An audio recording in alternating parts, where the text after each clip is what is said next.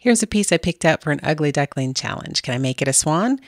First thing I did is I gave it a really good clean. This is one of those really outdated pieces that nobody wanted. Actually, I picked it up for $20. Um, the people wanted rid of it, so they actually delivered it to my house for me. So I got it for $20 and I was trying to reimagine it. I mean, it is solid wood. So I gave it a really good clean. I don't know what those middle pieces are. Um, the top actually needed to come off because it had um, a hole in it. So um, you can see here I am taking it off and I will get a replacement piece. You see that hole there.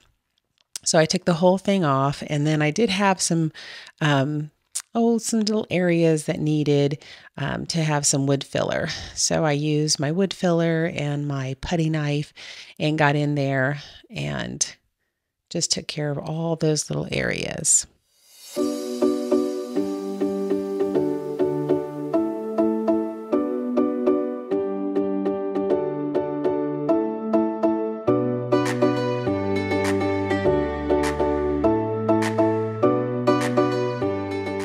So next up, I took all of the hardware off. So it has a drop down door area that you can use as a desk. Um, I decided to style it as a um, kind of a liquor cabinet area. So I took all of the hardware off. I gave everything a really good scuff sand, probably I don't know if I was using a 220 or a 180 here, but there's a lot of nooks and crannies. And so you see here I'm using liquid sandpaper, and that is my final clean after I've given it a really good scuff sand. I clean it with liquid sandpaper, and that just really helps me to make sure I'm getting into all of the little grooves because I might have missed something with the sandpaper. And I needed to etch up the surface so that when I go to prime it, the primer will actually adhere to the wood. So the liquid sandpaper really helps me get into all those little nooks and crannies and gives me a really good clean too.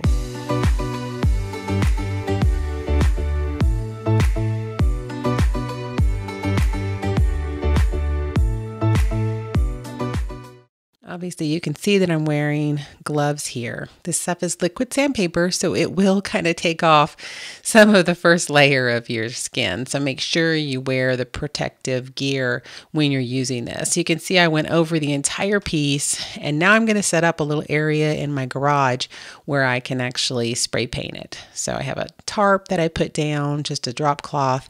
I have it on little rollers, and I'm going to section everything off, and then um, for primer, I use BIN Shellac primer. Um, the shellac, um, it is um, um, hard to clean up because you have to use denatured alcohol or ammonia to clean up, but it has really literally never failed me. Um, never have a problem with adhesion. it adheres to laminate, wood, any kind of surface it is a multi purpose um, primer, so I highly recommend it. Um, this is the backer board that I got at Lowe's. Um, you can have it cut to size if you know your measurements. Um, but I was doing the backing and I also had to do the top. So you can see here, I'm just marking it with some chalk. And then I'm going to use my circular saw and I'm going to make the cut.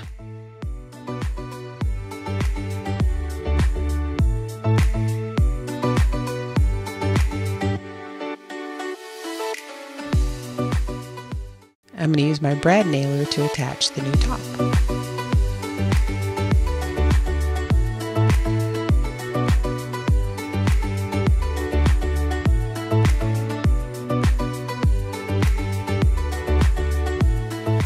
Now I'm going to paint it out.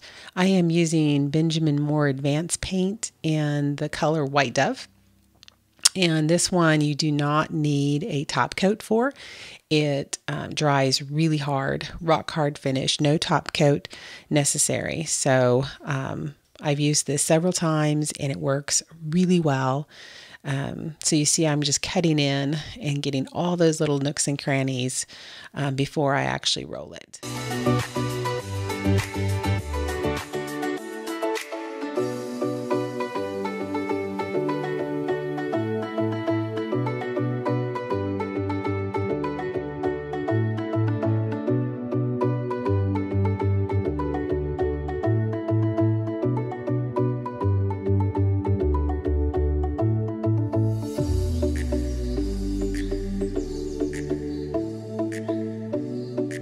So, in reimagining this piece, I decided to add a backing to the whole piece and I wanted to attach a wallpaper to it.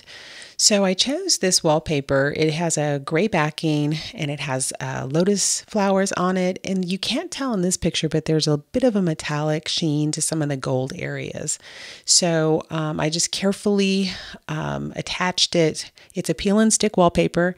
Um, you just have to be a little careful, but if you take your time and put it on and spread it out, and it goes on really easily. And then I just used a razor blade to cut off the excess on the edge.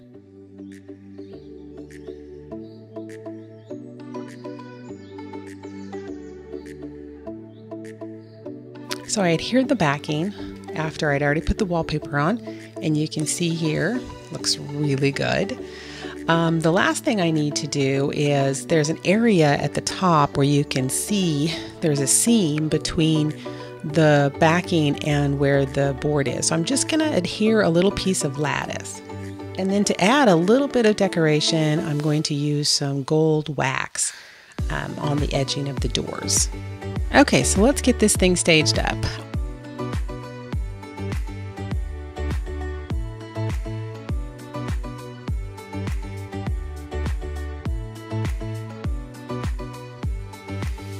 I use a vinyl flooring that is easy to roll out and I have everything on rollers so it's easy to just kind of put it down and put it against a white wall, which is the easiest to um, stage in front of. And then I'm going to stage it up with things that I have around the house. Sometimes I'll pick up things from Goodwill to use as staging items. I just try to kind of vary things. I try to use things um, in diagonals.